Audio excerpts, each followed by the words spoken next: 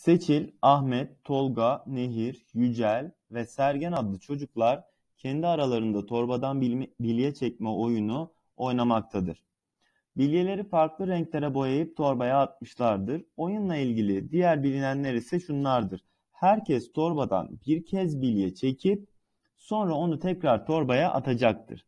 Tek başına bir renk bilye çeken çocuklar o turda oyundan ayrılacak. Aynı renk bilyeyi seçenler tura devam edecektir. Aynı bilyeyi çeken çocuklar beraberlik bozulana kadar bilye çekme işlemine devam edecektir. Seçil, Nehir, Yücel ilk turda oyundan ayrılmıştır. Demek ki bunlar ilk turda kaybedenler. Seçil, e, Nehir ve Yücel eledim arkadaşlar. İlk 3 sıra Seçil, Nehir, Yücel olacak zaten. Ahmet Tolga'nın ayrıldığı turdan sonraki turda oyundan ayrılmıştır. Yani Tolga Ahmet'ten önce ayrılmış olacak. Bakalım devamına ne soruyor bize. Buna göre oyuncuların sonuncudan birinciye doğru sıralanışı hangisinde doğru verilmiştir dedi. Şimdi e, Tolga Ahmet'ten daha başarısız. Geriye kim kalıyor? Seçil, e, Nehir, Yücel son 3'te yer alacak. Ondan sonra kim geliyor? Tolga, Ahmet geldi. Bunları da eledim. Demek ki Sergen bunlardan sonraya kalmış diyebilirim. Sergen'i de birinci sıraya yapacağım. Sergen, Ahmet, Tolga diye devam edecek. Bakıyorum hangi şıkta var arkadaşlar. Sergen, Ahmet, Tolga. D şıkkında doğru sıralanmış. Cevap Denizli olmalıdır. Oğuz, Altay, Hakan, Günday, Zülfü ve Kahraman aynı sınıfta okumakta olan 8. sınıf öğrencileridir. Türkçe dersinde bazı konular işlenirken bu öğrencilerden devamsızlık yapanlar ve bu konuları kaçıranlar olmuştur. Öğrencilerin devamsızlıkları ile ilgili bilinenler şunlardır. Şöyle diyelim, e, Altay'ın okula gelmediği gün cümle türleri konusu işlenmiştir dedi. Şöyle, Altay cümle türlerinde eksik. Günday ve Zülfü sadece cümlenin ögeleri konusu işlenirken gelmemişler. Şöyle diyelim. Günday ve Zülfü ögeler dedim. Oğuz Altay'ın kaçırmış olduğu konuyu Hakan ile birlikte aynı sırada otururken dinlemiştir. Güzel. Oğuz e, cümlenin cümle türlerinde e, Hakan'la birlikte dinlemiş. Kahraman sadece fiilimsiler konusunu işlerken okula gelebilmiştir dedi. Bakalım. A. Hakan cümlenin ögeleri konusu işlenirken okula gelmemiştir. Şimdi bununla alakalı bir şey e, söyleyemem. Bununla ilgili bir bilgi yok. B. Zülfü Altay'ın gelmediği günkü konunun işlendiği sırada okula gelmiştir. Altay'ın bilmediği konu nedir arkadaşlar? Cümle türleri. Zülfü sadece cümlenin ögeleri konusu işlenirken gelmemişti. Demek ki Zülfü cümle türleri konusunda okula gelmiş. Bu yüzden cevap Bursa kesinlikle doğrudur olacak. Sınava hazırlık sürecinde beslenmesine dikkat etmek isteyen Ezgi bir diyetisyene gitmiştir. Diyetisyenin vermiş olduğu haftalık liste şu şekildedir. Ee, pazartesi kahvaltıda peynir, bir dilim ekmek, akşam yemeğinde salata yenecektir. Salı günü kahvaltıda iki dilim ekmek ve zeytin yenecek. Akşam yemeğinde bir bardak ayran içilecek ve et türü yiyecekler yenecektir. Çarşamba kahvaltısı pazartesinin aynısı olacak. Bakın güzel. Akşam yemeğinde çorba içilecektir. Perşembe akşam yemeği salı gününün aynısı olacaktır. Cuma pazartesi menüsünden başlanarak bir hafta pazartesi bir hafta salı menüsü uygulanacaktır. Hafta sonları ise cuma günü için uygulanan 5. haftanın programı uygulanacaktır. Ezgi'nin uygulayacağı listeye göre aşağıdakilerden hangisi söylenemez? Salı ve cumanın dördüncü haftası aynıdır dedi. Şimdi şöyle demiş ya Cuma'da arkadaşlar. Pazartesi menüsünden başlanarak bir hafta pazartesi, bir hafta salı. Birinci hafta pazartesi, ikinci hafta salı. Üçüncü hafta pazartesi, dördüncü hafta salı. O zaman A şıkkı doğru. B. Hafta sonlarında çarşambanın kahvaltı programı uygulanacaktır dedi. Ee, bakalım hafta sonları ise cuma günü için uygulanan 5. haftanın programı uygulanacak. 5. hafta pazartesinin kahvaltısı uygulanacak arkadaşlar. Çarşambada da ne diyordu? Pazartesiyle aynı kahvaltı olacak diyordu. Dolayısıyla B şıkkı da doğrudur. 7. hafta menüsünde pazartesi ve çarşamba aynı. Hafta sonları ise perşembenin menüsü uygulanacaktır. Şimdi hafta sonu hiçbir zaman arkadaşlar e, perşembe gününün menüsü uygulanacak demiyor. E, dolayısıyla C şıkkı yanlıştır. Ne demiş D şıkkında? İkinci hafta cuma menüsüyle altıncı hafta cuma menüsü aynıdır. Evet. E, birinci hafta pazartesi, işte ikinci hafta salı, üçüncü hafta pazartesi, dördüncü hafta salı, beşinci hafta pazartesi, altıncı hafta salı gibi. Çift haftalar salı, tek haftalar pazartesi menüsü uygulanacak. Dolayısıyla C şıkkı yanlıştır. Diğerleri doğru arkadaşlar.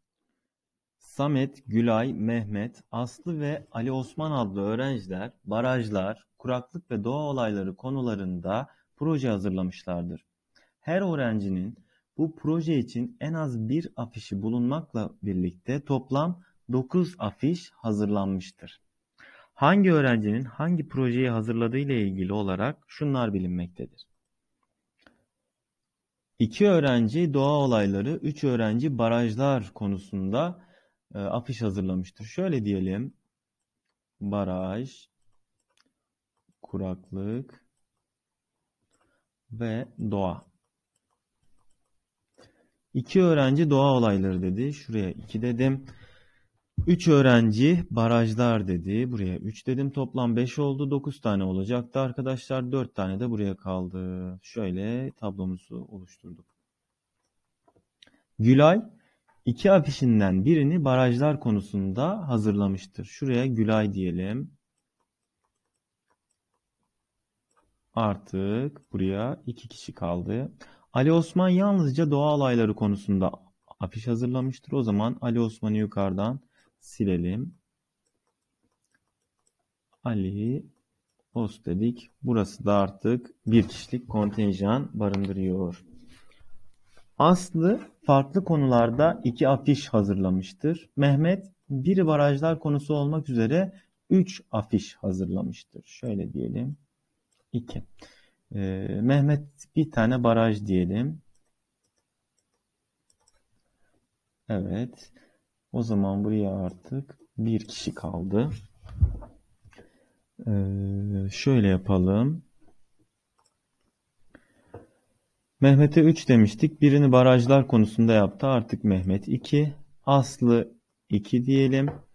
Gülay iki afişinden birini barajlar konusunda hazırlamıştır dedi. O zaman Gülay'a da bir tane kaldı. Ee, ne olacak arkadaşlar? Geriye kaç tane kaldı? 1, 2, 6 tane kalmıştı. 4, 5, Samet'e de bir tane e, konu kaldı. Bu bilgilere göre aşağıdakilerden hangisi kesinlikle yanlıştır? Mehmet'in kuraklık konusunda yalnız bir afişi vardır. Şöyle bir dursun. B. Aslı'nın afişlerinden biri kuraklık konusuna aittir.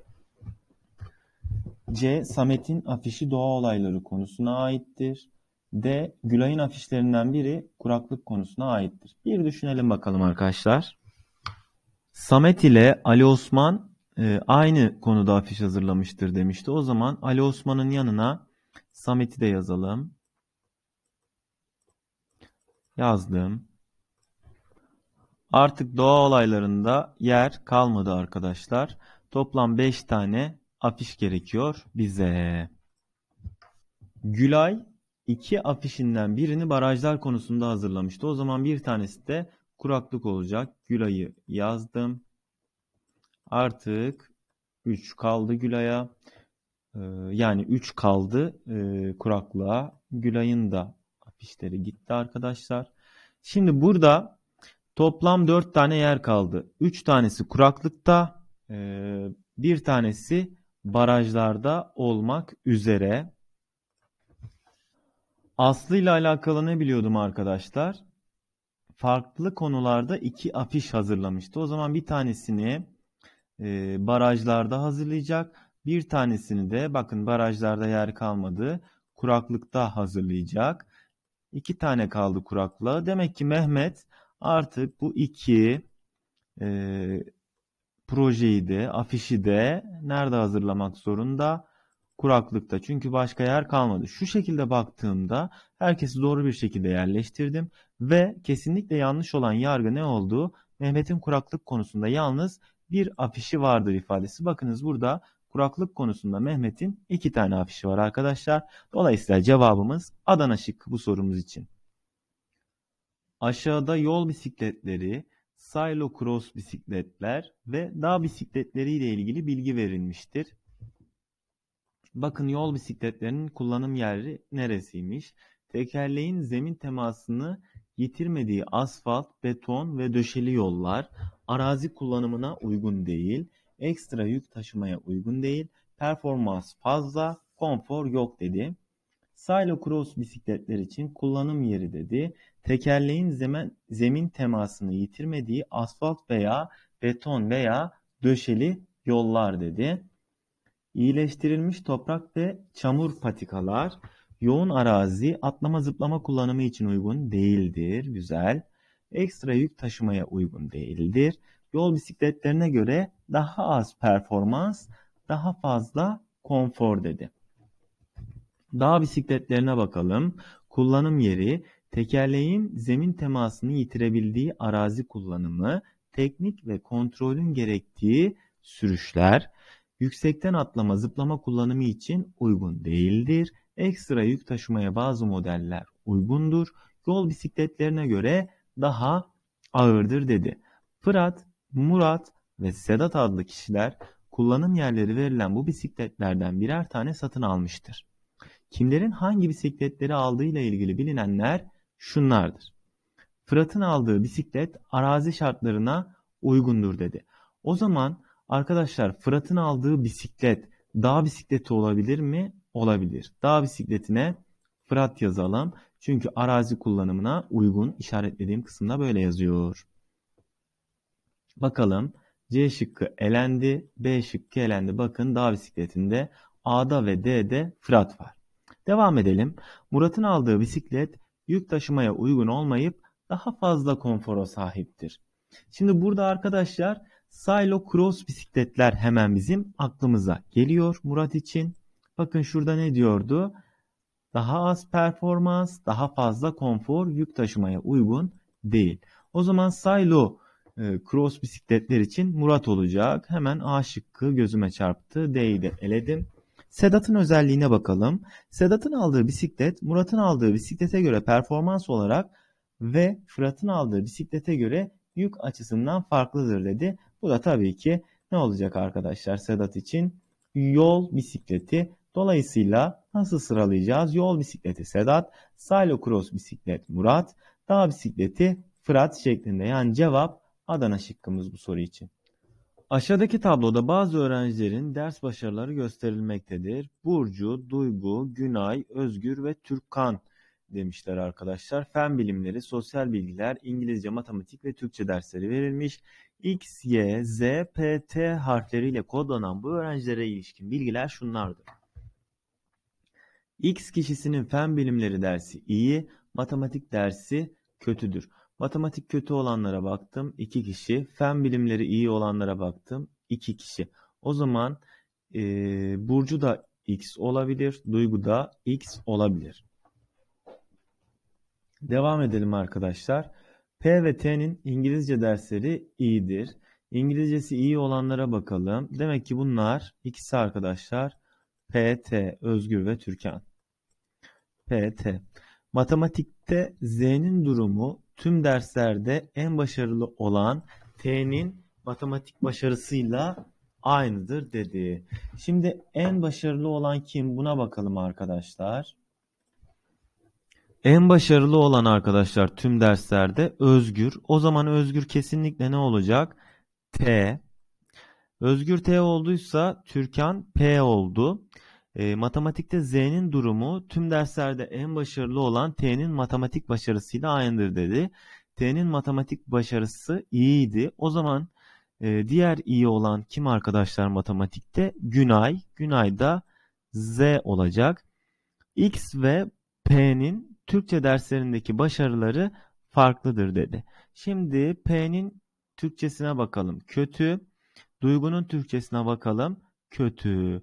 Demek ki duygu X olamazmış arkadaşlar.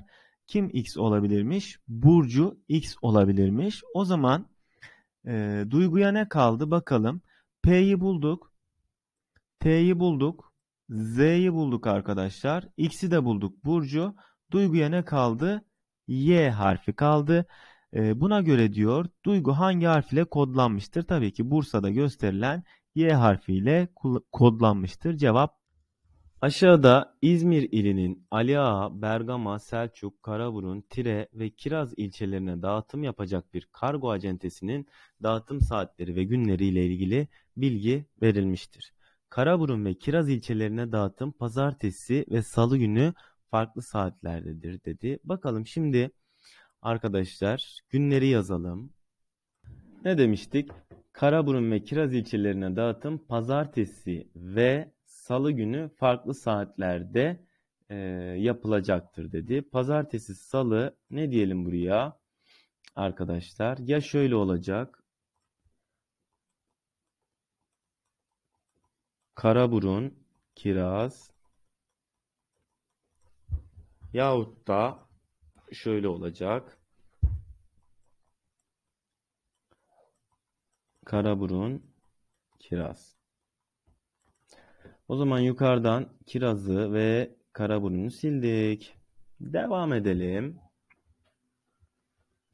Selçuk ilçesine yapılacak dağıtım Bergama ilçesinin olduğu günden daha önceki bir günde yapılacaktır. Güzel. Pazar günleri dağıtım yok. Zaten tabloda pazar gününü almadım. Tire ilçesine dağıtım cuma günü ve saat 10'da yapılacaktır. Tire'ye cuma günü 10'da dedi. Tire dedim. Yukarıdan tireyi de silelim.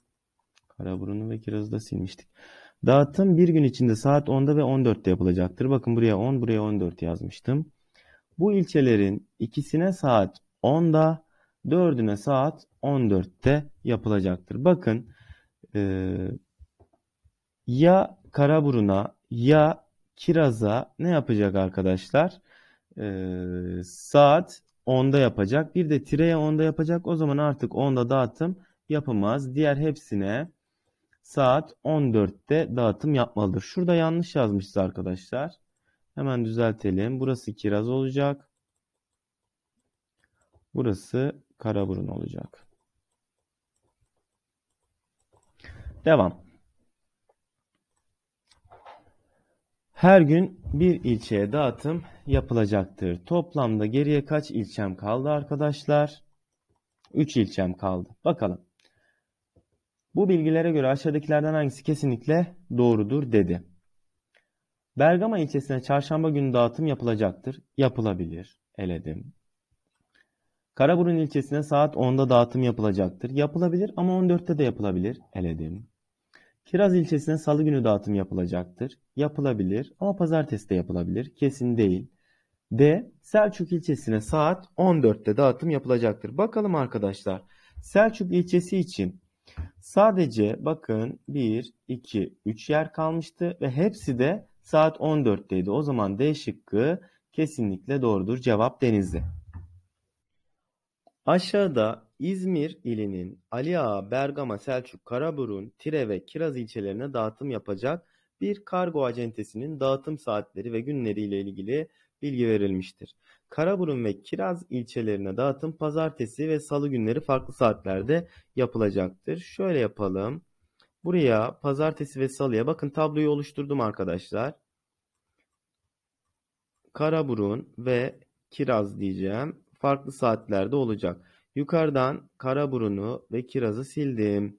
Selçuk ilçesine yapılacak dağıtım Bergama ilçesinin olduğu günden daha önceki bir gün. Güzel. Pazar günleri dağıtım yapılmayacaktır. Tabloda yazmadım zaten. Tire ilçesine dağıtım cuma günü ve saat 10'dadır. Tireyi sildim. Tireyi cuma günü saat 10'a yazdım. Artık cuma günü başka dağıtım yok. Devam. Dağıtım bir gün içinde saat 10'da ve 14'te yapılacaktır. Bu ilçelerin ikisine saat 10'da, şuraya 2, e, dördüne saat 14'te yapılacaktır. Şimdi arkadaşlar, burası çok önemli. Bakın. Karaburun veya kirazdan bir tanesi mutlaka saat 10'da dağıtılacak. 1. Tire de saat 10'da dağıtılacak. 2. Demek ki artık 10'da herhangi bir şey dağıtılamaz. Geriye kalan herkes saat 14'te dağıtılmak zorundadır. Her gün bir ilçeye dağıtım yapılacaktır dedi. Bakın Cuma'yı ben kapatmıştım o yüzden. Buna göre çarşamba günü Aliağa, Bergama, Selçuk ilçelerinden hangilerine dağıtım yapılamaz dedi. Şurayı da bakın kırmızıyı alayım elime, yuvarlak içine alayım. Bu bilgiyi kullanacağım şimdi. Selçuk ilçesine yapılacak dağıtım Bergama ilçesinin olduğu günden daha önceki bir gün. Yani Selçuk, Bergama şeklinde sıralanacak. Bakalım arkadaşlar çarşamba günü hangileri yer alabilir? Çarşamba günü Ali Ağa alabilir. Güzel. Ali Ağa buraya alırsa e, Selçuk Perşembe olur. Bergama Cumartesi olur. E, Bergama Cuma Çarşamba olabilir mi bakalım. Bergama Çarşamba olamaz çünkü e, Bergama Selçuk'tan sonra yapılmalıydı. Demek ki Selçuk Çarşamba olabilir. Ama Bergama asla olamıyor. İki olanları elerim. Ee, benim cevabım ne olacak o zaman? Ali A ve Selçuk. Bu da beni Ceyhan'a gönderecek. Cevabım C şıkkıdır.